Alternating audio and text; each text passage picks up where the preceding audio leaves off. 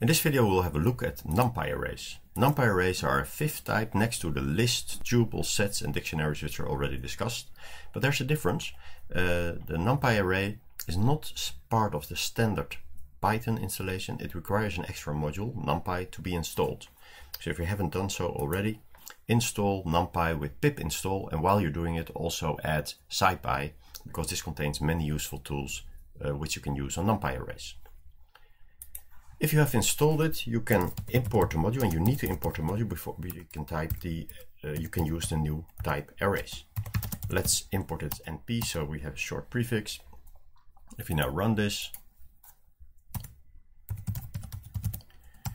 and then uh, if this runs without an error message, it means NumPy has been installed, and we can use this variable type. Well, what is the, the advantage of an of a NumPy array? Uh, to really appreciate it, let's first have a quick look at uh, the list and then uh, do uh, some things that we could do with list and then look at it, how we would do it with a NumPy array. So let's imagine we have a list um, with some values, four values in this case, and we want to create a list which uh, has the same values as A, but then multiplied by 2, and we want a value to have the, a list to have the, uh, the sum of these two lists. So what, how could we do that?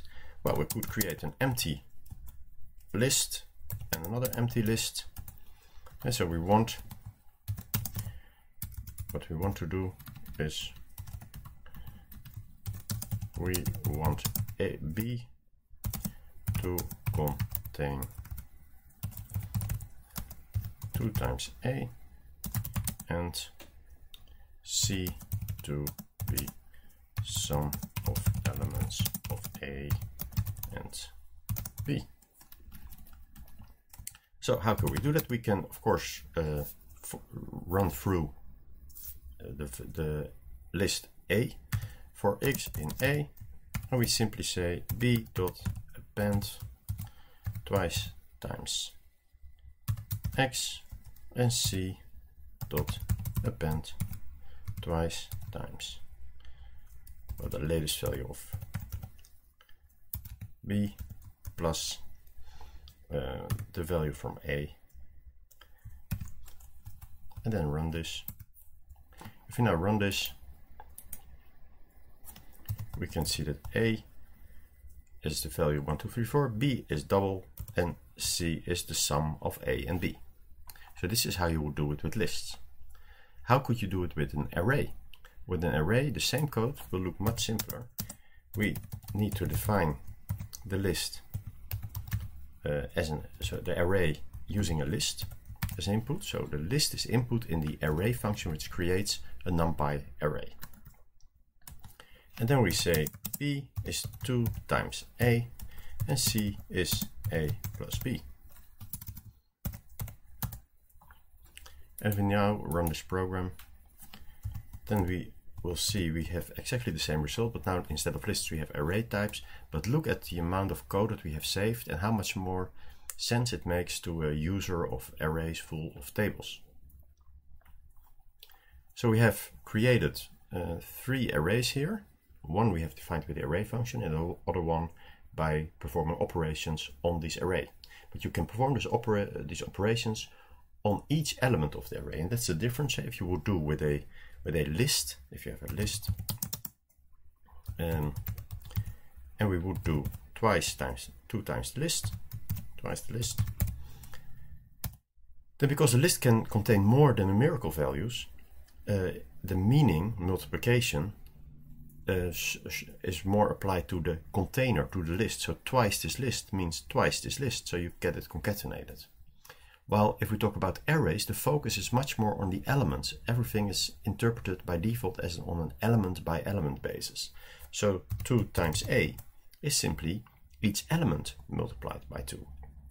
It's as if for each command that you do with the array, there is a little for loop around it that says for i in all these elements, 2 times ai, and that is what you get. And this part, this fact that you have one line doing something that normally would require a for loop, um, is called vectorized programming. So you do things vectorized because you op your operations act on a vector, on an array of numbers. And you see this is often much shorter. For instance, if we uh, have a, uh, a, a, function that we want to, we want to plot a sine function. Well, then we can make an x value of our array, for instance, 0 0.1, 0 0.2, 0 0.3, 0 0.4, 0 0.5, etc. until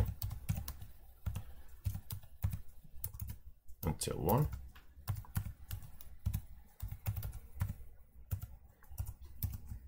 Now we've created this array, and then we can say y is the sine of this array. Obviously the, the sine function is not imported yet, and the math sine function, if we import sine from math, wouldn't know how to handle this array, uh, which needs to be x of course, wouldn't know how to deal with an array as input. And that's why we need the sine function from NumPy. NumPy's sine function does know how to do this. And then if we run this, array is not defined. Oh yeah, numpy.array. Need to now run again.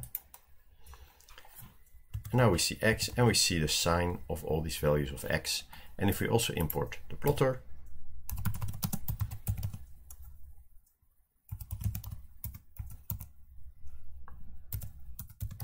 dot uh, import i plot splt, then we can now, without any for loops, create a little graph showing the sine function from 0 to 1. And indeed we see the start of this function.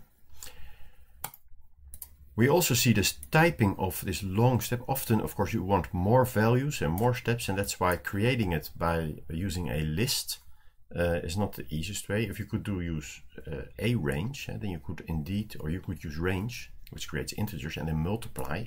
That would already be better. So if we would use the range function. A is numpy array of the list of range 1000 points. This creates, of course, only integers, which we then convert into a list, a list of integers. But this is then created into an array, and with an array we can do operations. So we can say 0.01 times this array gives us our x. And if we then plot it, we see a graph from 0 till 10 and uh, with the sine. Of course, this is, this is quite cumbersome. Um, and the problem with range that we had was always that you only have uh, had integers. If we want floats, we can also directly use the arange function, the, the array range function, so to speak. And if we use the arange function, it works much the same as, uh, as the range function, but now we can use floats. And if we do it like this, we say we want to go from 0 to 10 with a step of 100. And if we then run it, arange not defined, of course, it's a numpy function.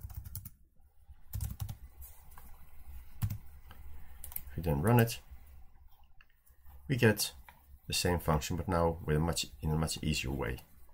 If we look at the length of our x array, it's indeed 1000 long.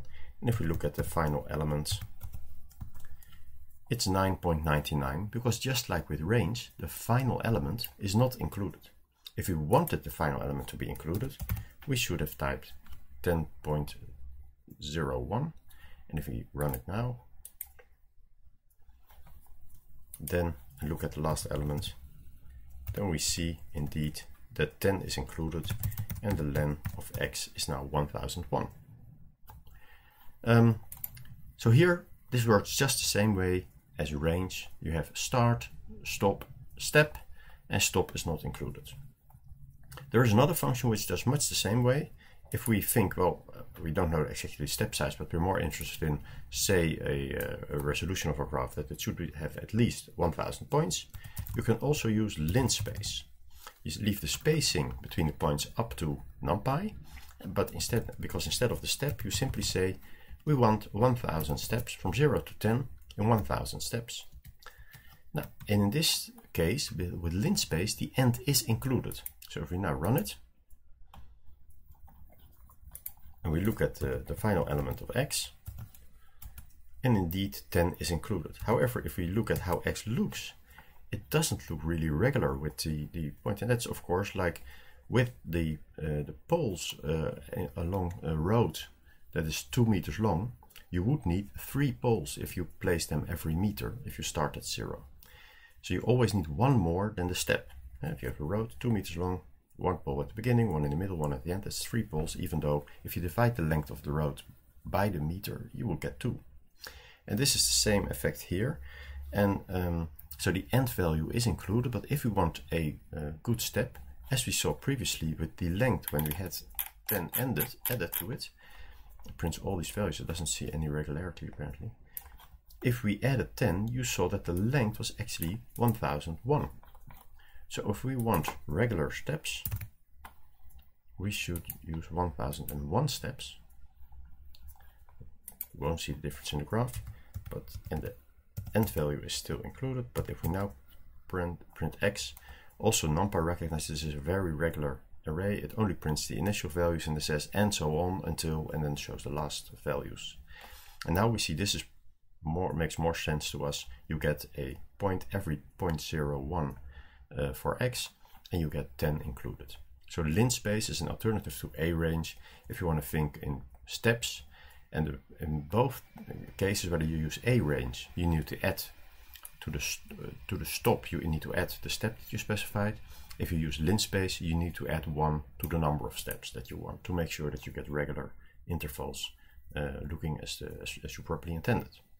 We see here the sine function being applied on the whole array that is because it's NumPy sine function. You already saw me a few times forgetting to type the NumPy, and that is because I often use the NumPy as a default library instead of math. So from NumPy, import everything.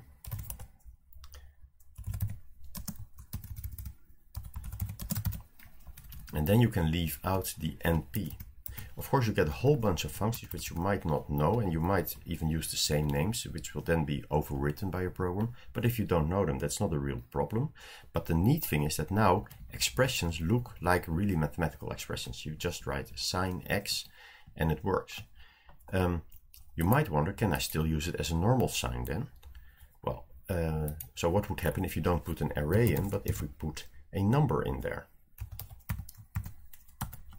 In that case, you will see that indeed NumPy, even though this is now the, the NumPy sine, if you put a normal number in there, a scalar number, so not an array, then it will return a normal number, a scalar number, uh, as a result as well. So indeed, you can use the NumPy functions instead of the math functions, but the advantage in is that they also work on arrays.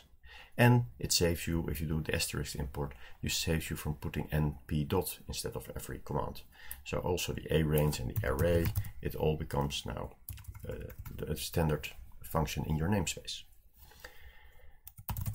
Um, so we already now saw three ways to create NumPy arrays. Cre converting a list to an array, using arange, or using uh, linspace.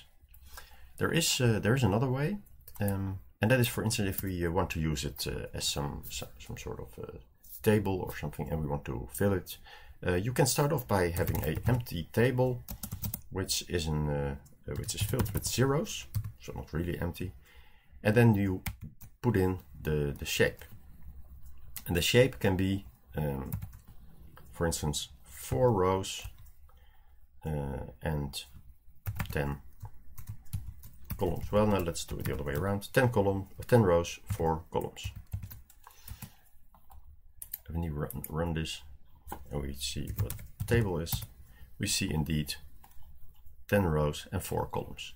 And that is because we have asked uh, for an, an, array filled with zeros with this shape. You see the double brackets, that's because you can also use, of course, two uh, two-dimensional array to define two-dimensional list to define an array. So if we do it like this,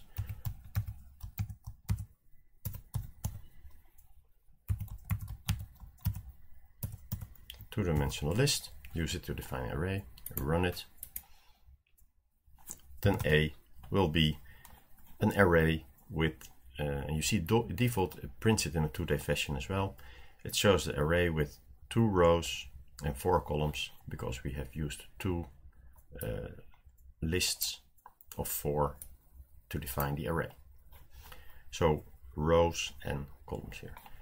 Now, if we then want to know what the shape is, uh, because next to the length, if we take the length of A, we see two, as if it's a list, uh, two lists, because there are two rows in there.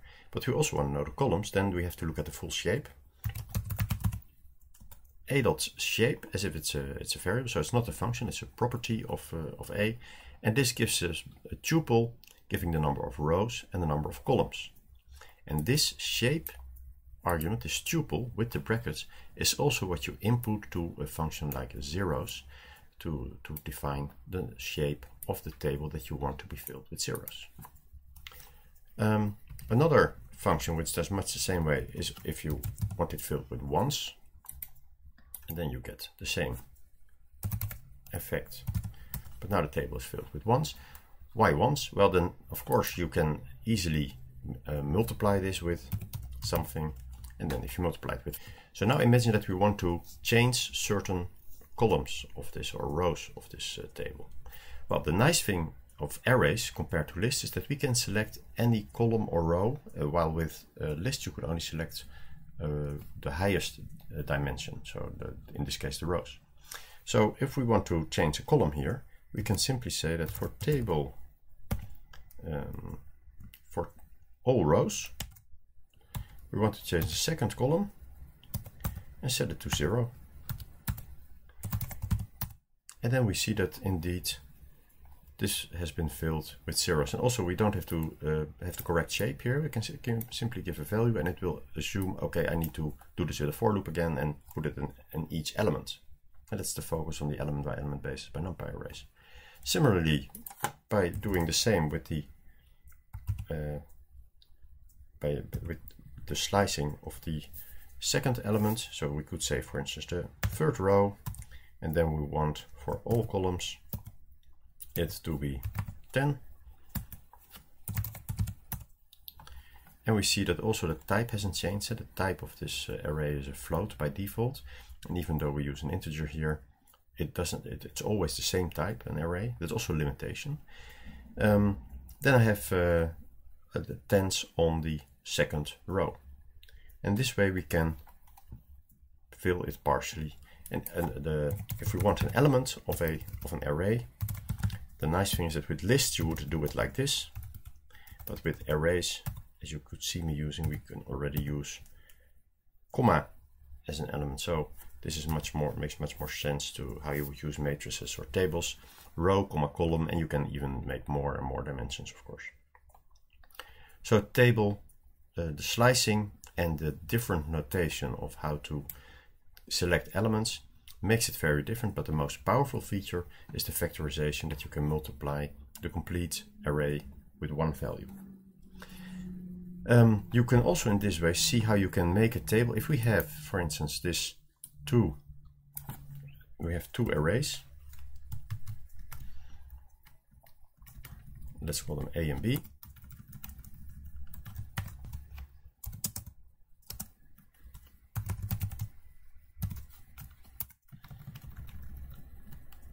two one-dimensional arrays. You could say rows, but basically they're one-dimensional. They don't have rows or columns. They have simply one dimension. They are a list of numbers. Now, if we uh, if we run this, we have these, and then uh, we could do uh, several things. We could say, okay, we want to make now to make a table where these are the rows, or we where these are the columns. If we want them to be the rows, we could do it in two ways. We could say, okay, let's make a third array which has this the shape that we have two rows and the length of one of our arrays as the number of columns. And then we simply say the first row and all columns is A and we do the same with the second column but then use B. If we run it like this then C is indeed two rows where we have A at the first row and B at the second row. By the way, um, even though it's not a list, if we leave out elements after of some dimension, then in this case it will assume you meet, mean all of them and this will have exactly the same effect as if we uh, would have added the second dimension. And this is uh, because the rows are still the highest dimension, the first index. Now, these are rows. Now, uh, often you want the opposite, you want it to be columns. How do you do that? Well, that's um, basically in, the, in sort of the same way. What you now want to do is that we want to make, uh, well, let's, let's first do it the, the, the simple way and see what happens.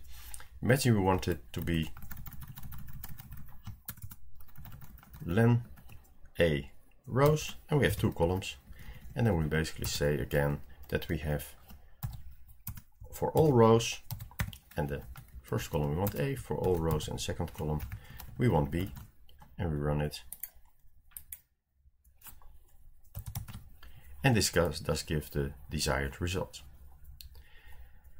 Um, there is another method. And that is called H stack and V stack, horizontal stack and vertical stack. In this case, if we stack them, they um, are basically using uh, the, the direction in which you stack them. So if you use columns, you're basically doing horizontal stacking. So there is a method which is called uh, uh, horizontal stacking. And there we basically stack A and B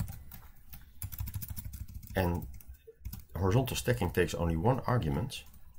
If you could see, it takes a tuple, which means you need extra brackets, and the tuple then contains the arrays which needs to be stacked. And this is the total result of C, and this is a way to create this. So this is one line doing the same thing in horizontal stacking. However, if we see what the effect is, we see that it doesn't make it into columns, but put, makes it into one long row. Why is this? Because by default, even though the arrays are one-dimensional, as soon as we talk about horizontal stacking and vertical stacking, we're talking about two-dimensional arrays, and then it assumes that the one-dimensional array is probably a row. In this case, it's not a, a row, so we want to change the shape. We could do it in a number of ways, but there's one function which is called reshape, a method of the array, reshape, in which we can change the shape of the array to it being four rows with one column, for instance. And again, this is a tuple, the same. And we can do the same with B.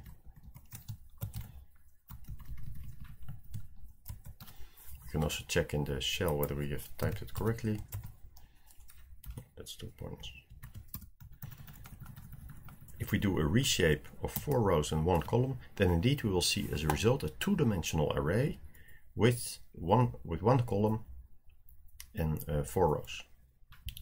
So a reshape 4, comma 1 will create four rows and one column. And then if we've reshaped it, then we can use horizontal stack. You now run it again.